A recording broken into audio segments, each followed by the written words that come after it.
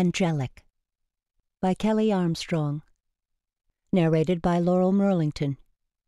Copyright 2009 by Kelley Armstrong. This unabridged audiobook is published by arrangement with Kelley Armstrong, care of the Helen Heller Agency, and was produced in the year 2010 by Tantor Media Incorporated, which holds the copyright thereto.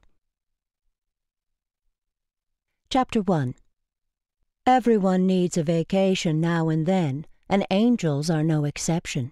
It was a concept that seemed to elude the fates. My annual stint as a celestial bounty hunter was supposed to end last week, but complications had arisen, as they so often did. Retrieving hell-doomed souls and hunting down unruly demi-demons isn't a nine-to-five job. But now I was finally finished. Kristof didn't know I was back yet, so I thought I'd get ready for our holiday trip and surprise him. I was looking in the mirror, making a few last-minute adjustments, when my house vanished, and I found myself staring at a mosaic of a wedding with lots of garlands, flowers, and flowing robes. The bride began to turn, so slowly it seemed a trick of the light. Over her head, a dove's wings moved, just a fraction. The mosaic of life, always changing, always the same, deep. I turned and glowered into the white marble cavern that was the Fates' throne room. Hey! I shouted. I'm on vacation here. The floor began to move, as slowly as that damned mosaic. Atop the dais, a middle-aged woman with long graying blonde hair pumped a spinning wheel, gathering the thread as it wove. I kept my mouth shut, not wanting to cut anyone's life unnecessarily short. Anyway, she knew I was there. She paid me no heed, though, until she'd finished. Then she looked up and gaped at my outfit low-cut laced white bodice, skin-tight calfskin breeches, and knee-high boots. It's my vacation outfit, I said. We're going to La Seva, so I have to look the part. La Seva? The pirate town. Chris likes playing pirate. I paused. Chris really likes... Enough! The old fate had appeared now, taking her sister's place. She had wiry gray hair, a bent back and shriveled face, made even uglier by her perpetual scowl.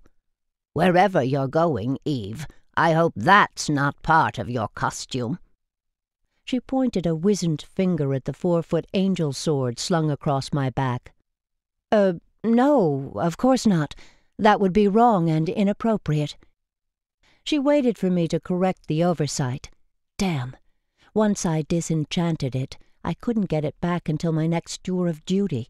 I pulled it off my back, the etched metal glowing, murmured a few words, and it vanished, replaced by a boring, if more thematically correct, scimitar.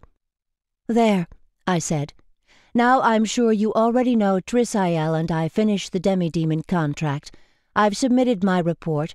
If there are any questions, he'd be happy to answer them.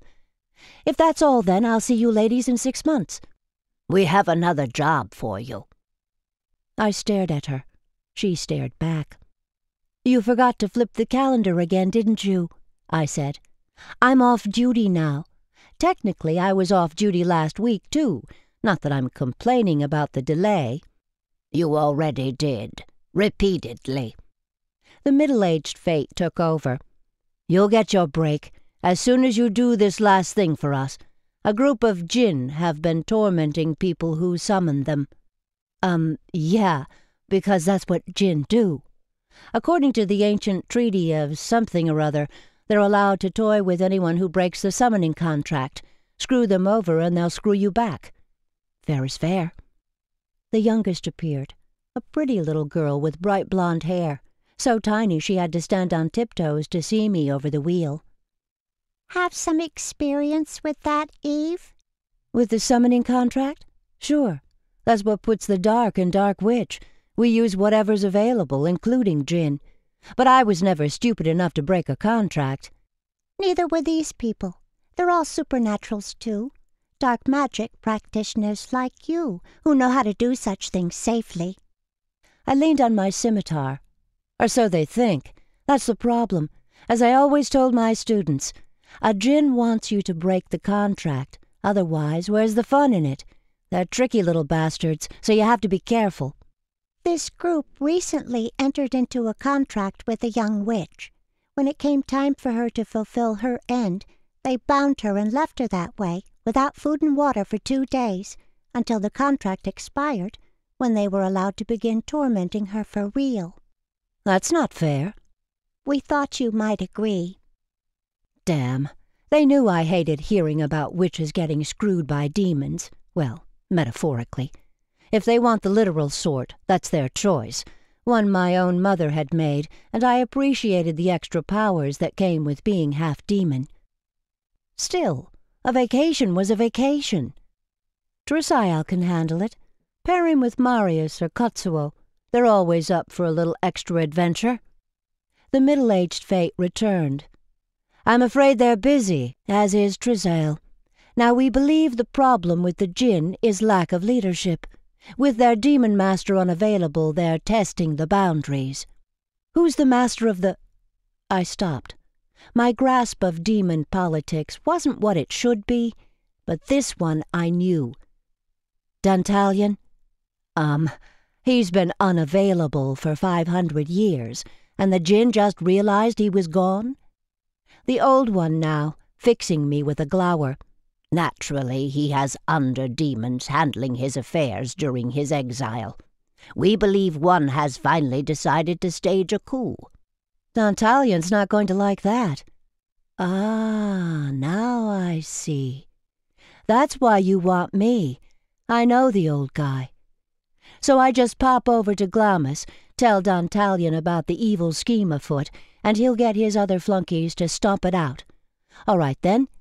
Consider it a favor, but since it'll be quick, I'll do it. I lifted my hands for a teleport spell. Angels do not negotiate with demons. No, but they do tattle on them, just not usually to other demons.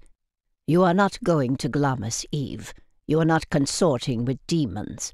You have not seen Dantalion since that unfortunate business with the Nix five years ago, correct? I didn't even bother to answer. They knew full well that I'd been cultivating the exiled demon as a source. But God forbid they should admit it, because then they'd need to admit they thought it was a good idea.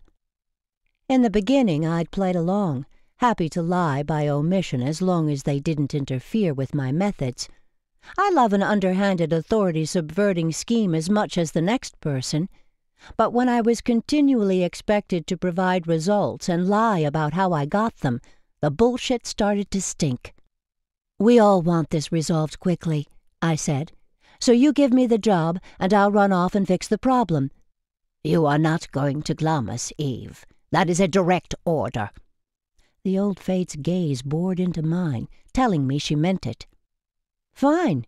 You don't want Dantalion to fix this? Then you don't need me to handle it, do you? Get one of the others. They aren't available. Well, neither am I. You are now. She waved her fingers and the throne room vanished. Chapter 2 The Fates teleported me to the Ascended Angel Staff Lounge. It wasn't called that, naturally. We weren't staff. This wasn't a job. It was a calling, an honor, a noble mission. Bullshit. It was a job, the first I'd ever held. I'd spent my life avoiding exactly this, responsible only to myself and, later, my daughter.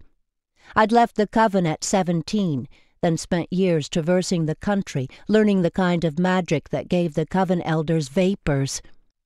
By twenty-five, I'd been a renowned teacher of the dark arts. Then I met Kristof, got pregnant, left Kristof, had Savannah, and continued on, building my reputation, teaching my craft, staying one step ahead of the interracial council and my growing number of enemies, until, one day, I hadn't been fast enough to avoid the fate some would say I'd been running from all my life. I'd been thirty-eight when I died. Ask me, though, and I'll say I was forty, just to avoid that wink, wink, nudge, nudge, sure you were thirty-eight shit. I have my faults. Vanity isn't among them. With me, what you see is what you get. We hope you enjoyed this preview. To continue listening to this audiobook on Google Play Books, use the link in the video description.